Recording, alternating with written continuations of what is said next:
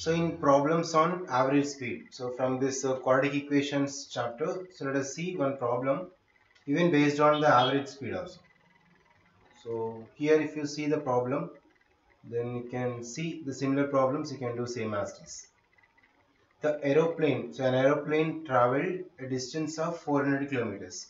So distance is 400 kilometers at an average speed of x kilometers per hour. In the question is given the average speed is x kilometers per hour. So there is no change. This is onward because on the return journey speed was this is so speed was increased by 40 kilometers per hour and took 30 minutes less than the onward journey. So because of the speed is increased, time is reduced. Find the value of x. Let me take the statements so clearly you can understand. So here the speed of the aeroplane on onward journey is given. The speed. So we should find out x value. The speed of an aeroplane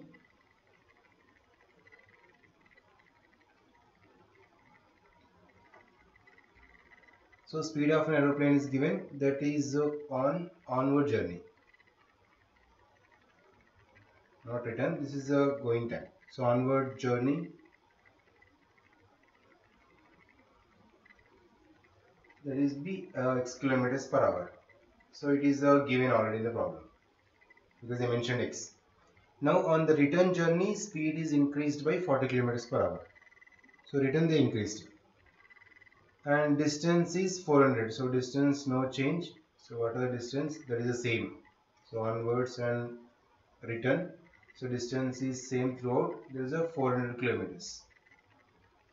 400 kilometers is the fixed so onward time and return time will find out because they gave 30 minutes less. The time gap is 30 minutes less.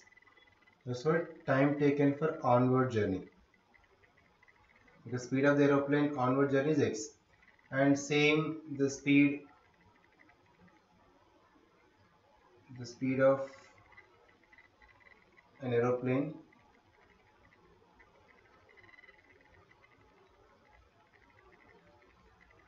on return journey. So return journey is that is of speed is increased 40 kilometers per hour. So previous is x so x plus 40 kilometers per hour. So units can write 30 kilometers per hour. Can write here. So kilometers per hour is the return we're taking. Now we'll find out the time in the both the cases. So time taken for onward journey and time taken for return journey because the difference is 30 minutes. That's why you should go for the time. So both cases separately. So one is uh, time taken for onward journey. So for onward journey that is the you know that is a distance by speed formula so distance by speed. That means onward distance and onward speed will find out. So onward distance is 400 distance never change. By speed is x. So this is the hours. This is time. Similarly a time taken for return. So time taken for return you can take same formula distance by speed.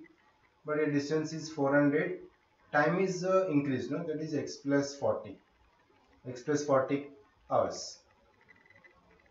So this is also time and second also time. Now according to the problem the difference uh, time difference is 30 minutes.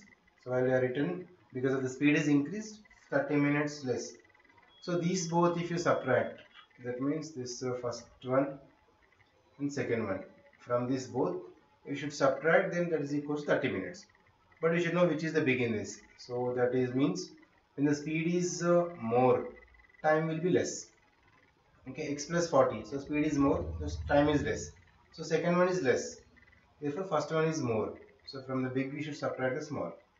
So 400 by x minus uh, 400 by x plus 40 this gap this difference is 30 minutes so 30 minutes it is but to convert into hours divide by 68 because these both are in hours only but 30 is minutes So it convert into hours divided by 60.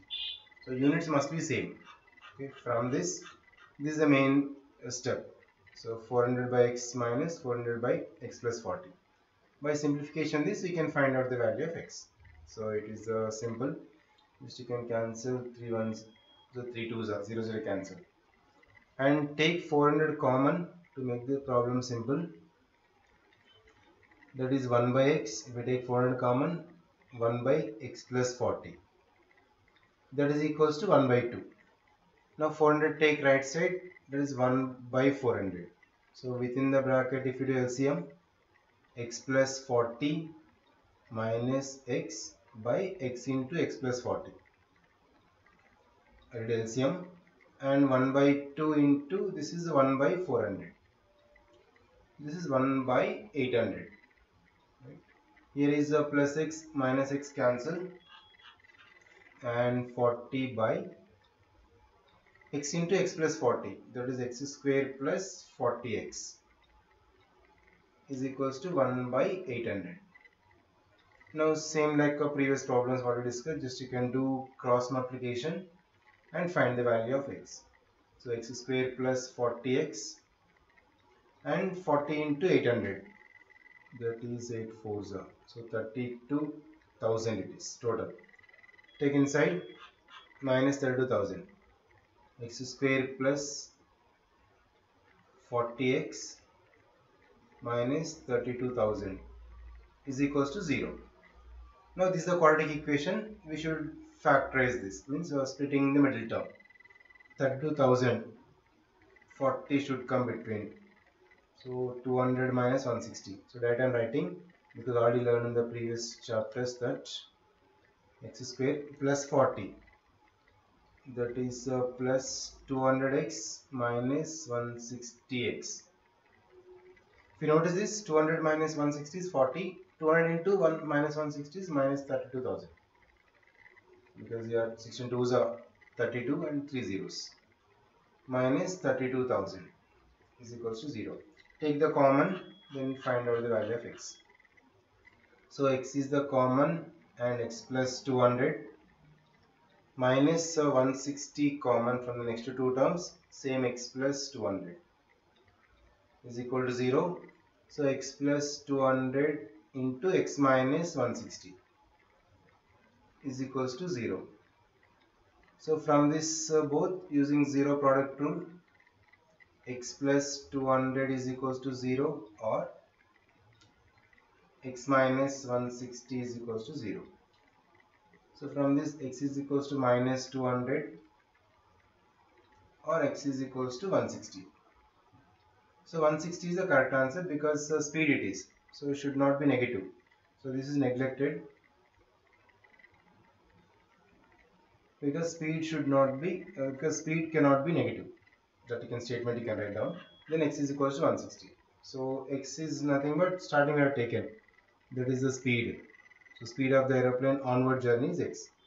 So therefore the speed of an aeroplane onward journey is 160 kilometers per hour. Speed is the problem.